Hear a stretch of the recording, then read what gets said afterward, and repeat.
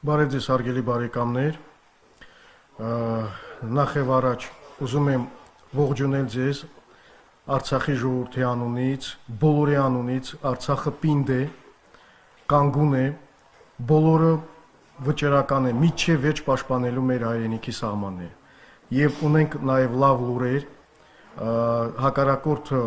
մեծ կորուստներ է տվել, ուրեմն մի շարք հատվածներում եւ նրա մեծածավալ հարձակման փորձը լիակատար ձևով ձախողվել է մեծ ստորաբաժանումներ են պարզապես վերացվել եւ սա շատ լավ լուր է ամբողջ հայության համար ճիշտ է շարունակվել է հակառակորդի կողմից ահաբեկչական գործողությունը այն ինչ մենք միշտ ասում էինք այն ինչպես որակում էինք ադրբեջանի որպես ահաբեկչական երկիր եւս մեկ անգամ ապացուցվեց նրանք այսօր ամբողջ գիշերը հրթիռակոծում էին եւ ռմբակոծում էին Ստեփանակերտը մի շարք բնակավայրեր, գյուղեր եւ քաղաքներ։ Կան ավերվածություններ, կան տուժածներ, բայց կրկնում եմ որևէ ձևով մեր ժողովուրդը իր կամքը եւ վճռականությունը չի կորցրել։ Կանգնելու ենք միջև վերջ։ Եվ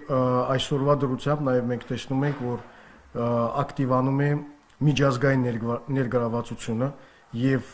այն գործընթացները, որին մենք ականատես ենք լինում, թույլ են տալիս մեր կանխատեսելու, որ մոտ ապագայում շատ շուտ կլինի նաեւ արդեն ավելի մեծ ճնշումներ եւ Թուրքիայի եւ Ադրբեջանի վրա։ Իհարկե ամենամեծ ճնշումը տվյալ դեպքում եւ կշարունակվի այսպես եւս դա լինելու է պաշտպանության բանակի եւ հայոց բանակի այսպես գրագետ ճիշտ գործողությունները ռազմի դաշտում։ Ինչի արդյունքները կրկնում եմ մենք գրանցել ենք նաև այս գիշերվա այս օրվա ընթացքում։ Հիմա համար մարտերը շարունակվում են եւ կան տեղեր, որտեղ համեմատաբար ավելի հանգիստ է, կան տեղեր, որտեղ ակտիվությունը դերևս շարունակվում է, բայց այնուամենայնիվ,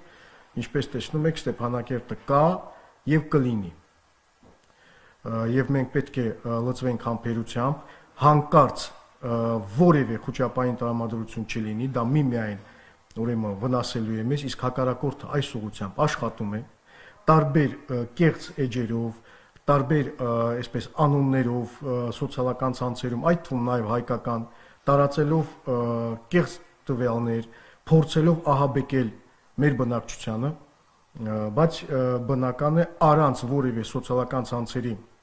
աշխատանքը խափանելու մենք այդպիսի կարիք էլ չունենք մեր ժողովրդի ոգին շատ մարտունակ է եւ բարձր է այն ինչ անում է հիմա Արցախը եւ Մայր Հայաստանը դա փաստորեն պայքար է ողջ քաղաքակիրթ աշխարհի համար այստեղ է վճարվում Փարիզի ճակատագիրը, Լոնդոնի ճակատագիրը, Վաշինգտոնի ճակատագիրը, Մոսկվայի ճակատագիրը, Թեհրանի ճակատագիրը, Պեկինի ճակատագիրը, Դելիի ճակատագիրը մոտակա տարիների ընթացքում որովհետև Թուրքիայի եւ Ադրբեջանի հանցավոր քաղաքականության նպատակը ոչ միայն Արցախն ու Հայաստանն է։ Եթե իրենք հասնեն իրենց նենգ եւ անմարտկային նպատակների, ապա Բոսֆորից միջև Վոլգա, միջև ույգուրական տարածքներ կստեղծվի ահաբեկչական խալիֆայություն։ Այնուհետև կսկսի ներթափանցումը Արեմտյան Եվրոպա եւ Ամերիկա։ Սա լավ հասկանում են եւ մենք փաստորեն տեսնում ենք, որ անկախ նույնիսկ բարդ փոխհարաբերություններից մեծ տերությունների միջև մենք տեսնում ենք կոնսոլիդացված մոտեցում տվյալ հարցում եւ այս վերջի հայտարարությունը Ամերիկայի Միացյալ Նահանգների, Ռուսաստանի եւ Ֆրանսիայի նախագահների կողմից եւս մեկ անգամ դա ապացուցում է։ Մենք տեսնում ենք նաեւ, որ ուժեղանում է վճռականությունը տարբեր երկրների արդեն անմիջական հարվածներ հասցնելու ահաբեկիչներին։ Այն որ Ռուսաստանի արտաքին հետախուզությունը հրապարակել է պաշտոնական փաստորեն նրանց մամլու հաղորդագրությունը, որտեղ նշվում է, որ մեծ վտանգ կա ահաբեկիչների ներթափանցման համար դեպի Ռուսաստան, այն ինչի մասին մենք խոսել ենք 5-6 օր առաջ եւ այն որ նրանք պատրաստվում են հարվածել Սիրիայում ահաբեկիչների հենակետերին, սա նշանակում է, որ իսկապես արդեն նոր որակ է ստանում նաև համաշխարհային կոալիցիայի աշխատանքը, որովհետև այսօր հարվածելու են Սիրիայում ահաբեկիչներին, վաղը 100% հարվածելու են մեր տարածաշրջանում տեղակայված ահաբեկիչների ուրեմն ճամփարներին, ինչը ինքնին ցույց է տալիս, որ միջազգային հանրության դիրքորոշումը եւ քայլերը արդեն նոր որակ են ստանում։